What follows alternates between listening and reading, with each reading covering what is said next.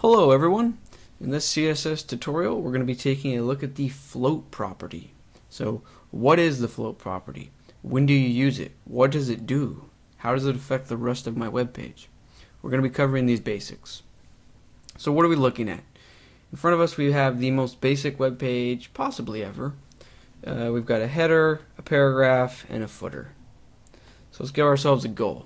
The purpose of this video is to use CSS floats to add a sidebar over in this region and we'll give it a, a, yellow background and we just want to sort of take up this right area and we want this existing paragraph to sort of wrap around it. We're going to use floats to achieve that. So let's take a look at our HTML. So pretty basic stuff here. We've got a div with a class of container and inside it we've got a heading and a paragraph. So remember our goal was to add a sidebar over in this area. So let's add a bit of code in between the heading and the paragraph. So all I did was I added a bit of HTML, a div with a class of info box, and just an unordered list to take up space. So if we go back to our page, uh, we can see that this is not at all sidebar. This is just uh, taking up the full width. And we want this yellow box to essentially take up just this area. And we're going to use CSS floats to achieve this. So, if we head over to our CSS file, info box, this is the yellow box we just added, we're going to add a new declaration. So the property is float, and we're going to give it a value of right. And if we refresh in our browser, we see some good news and some bad news. So the good news is that our yellow box is a bit of a sidebar now. It's only taking up the right hand portion of the layout. Our main text is respecting it and wrapping around it. We're almost there. We've almost achieved our layout goal. And the bad news, or at least the confusing news for beginners, is that our container is no longer tall enough for all of our content. We can see that this sidebar is sort of spilling out the bottom. And this sort of illustrates what the float property actually does. So yes, it aligns elements to the far left or the far right, but it also, in a way, removes those elements from the natural flow of the page. Um, so in other words, this container div is acting as if this element doesn't even exist. It's been removed from the page flow. So we need to compensate for that. And the way to do that is to clear the floats. That's a term you're going to hear a lot about in the future, clearing the floats. Now there are many different ways to clear your floats. We're going to start out with the simplest way. So let's head over to our HTML. We're going to create a new element right before the end of our container. So it's going to be a paragraph. It will read, this is the bottom text. So if we refresh our page, we see that there is a bit of new text, and it achieved nothing. Our sidebar is still spilling out the bottom. But what if we add a bit of CSS to this new element? So let's give it a class of clear me, and let's head over to our style sheet, create a new CSS rule, and the only declaration we need is clear right. Now if we refresh our page, we see that our container is tall enough to house the sidebar. Let's take a, uh, quick look at what is actually going on. Notice our new paragraph, our clear me paragraph, is sitting way down at the bottom. There's, there's this huge gap in between the two paragraphs.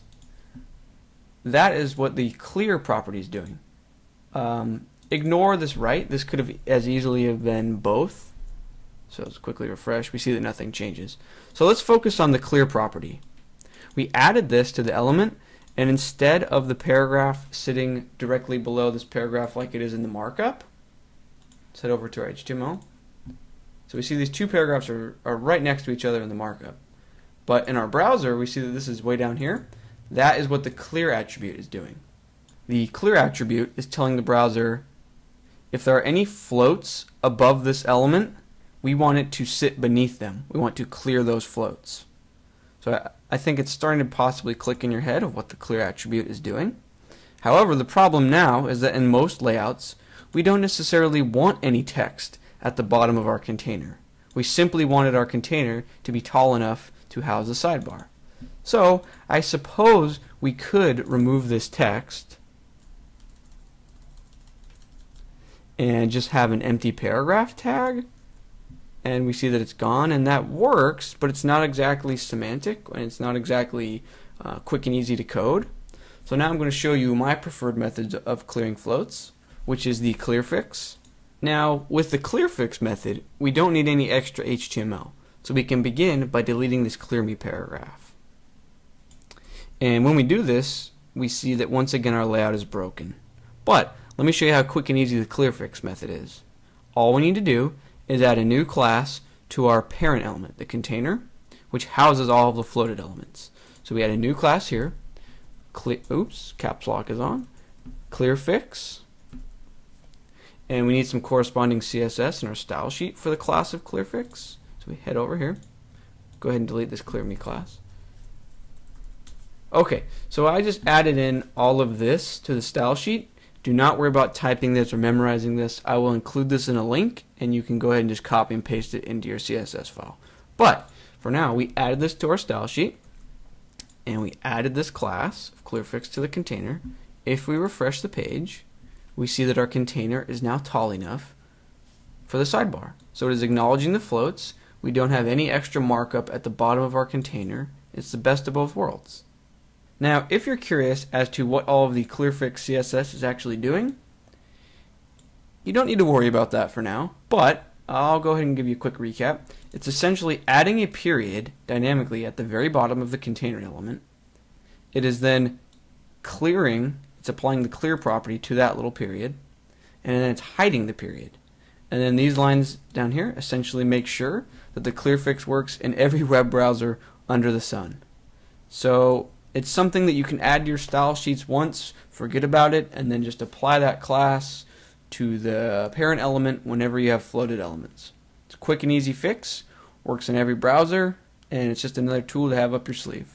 So hopefully, after watching this video, you now have a basic understanding of CSS floats and how to clear the floats, and you're well on your way to creating CSS layouts. Alright, hope you feel like you learned something, and I'll see you guys in future videos. Thanks, bye.